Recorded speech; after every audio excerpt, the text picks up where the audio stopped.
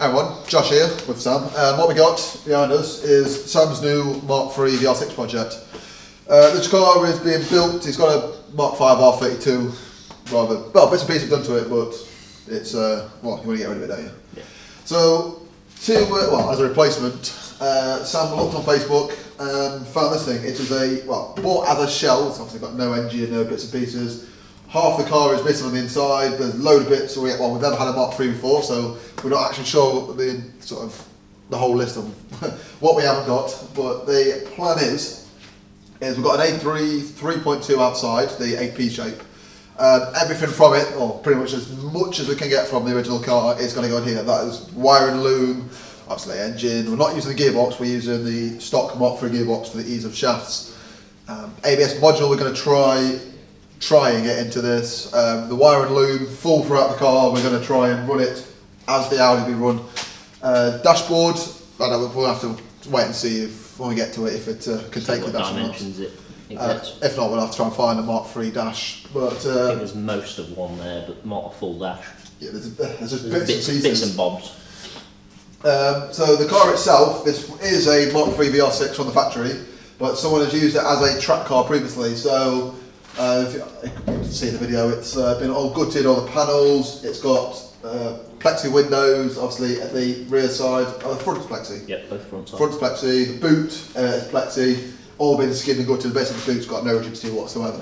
And it doesn't steal either. So we put too much of the metal work away. Yeah, so it's um, So we need a new boot. loads more bits. Whether we're going to put a standard bonnet back on, it depends whatever comes up and what we can find. We find it the right colour, I'll get standard ones because it will be used on the road as well. So I want it to be usable. So to start with, we are going to keep it um, NA, as what everyone says. We do have some bits and pieces, like we've got a GTX 35 down here.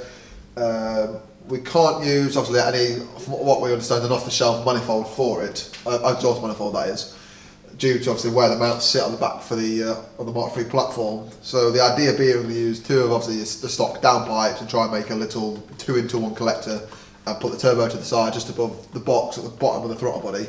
Um, until we obviously do get in the car, we don't know if that idea is going to work or not, if anything else is be the way, but we'll cross that bridge when we get to it. But we do have some bits and pieces, I mean, 250 odd horsepower at the box. It's going to be enough for a tiny little front wheel drive car.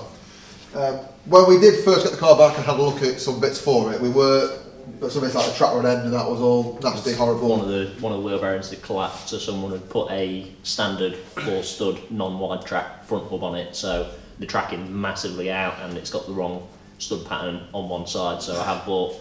I needed to buy one wheel bearing and a track rod end that I spotted, and it kind of snowballed, and I ended up with quite a lot of stuff. So you've got front and rear uh, hubs and bearings, uh, new brand new Draenor drive shafts, uh, brand new track rod ends, inners and outers, ball joints, uh, the Rear rear- axle bushes. and the rear axle bushes because they're a um, bit pain in the convert knees. into a Mark IV Golf style rear wheel bearing instead of the standard Mark III taper fit, just for ease of what we know uh, works well. So a bit easier for us.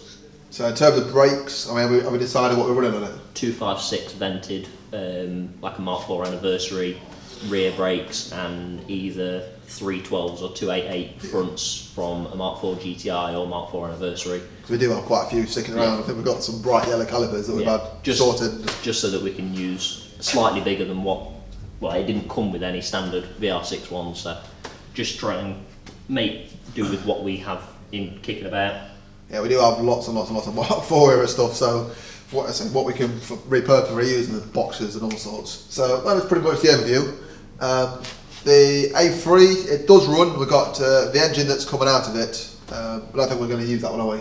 I was going to use that one We were it gonna use that one. it does need timing chain doing it's got 80 I think 86,000 miles on it but it's got very poor uh, service history so we believe it's got a stretch chain due to camshaft correlation um, and it is quite rattly. So we've got a new timing chain kit on the shelf ready and waiting for it. So as soon as that gets pulled out we'll probably do a video throwing that together. And then finding we've got to source a clutch and flywheel kit for it. Um, I've already got the 02A gearbox for it ready. Yeah. box Boxes down there. we just need to pull that car out of the way so that we can pull the engine over and sitted Yeah. in place, so it looks looks like an engine. Yeah, you can't really see from where we are sat here, but there is Cars cars sat around everywhere else. Yeah. So uh, then we get basically get it built up to a point here, so we can push it and move it out of the way, move some of these cars around, so we can pull the engine, all the bits. Well, get the other A3 in next to it, and essentially work them side by side and just transfer bits over as and when. The A3, well, get a couple of shots. Obviously, it does sort of run at the moment, but you have to essentially keep the foot planted at all times, otherwise it does want to die. And it's got no cats because we've taken them out and got rid of them, so it is rather loud. So I try and get a couple of shots. That of, paid for another car though, so that's is that's a video coming up. Yeah, that's- it did it selling the cats off of that one, bought another project. So That is true. That is true. So that, that yeah, that is going to be the, one of the next videos or future one, videos. one of the future ones. Too many We've, project cars. we've got a lot of project cars. So yeah, stay tuned for that. Um, I say we'll end this off on a couple of uh, shots of the A3 having a play before I say it does fully get stripped down and taken to pieces. So keep tuned for the next one.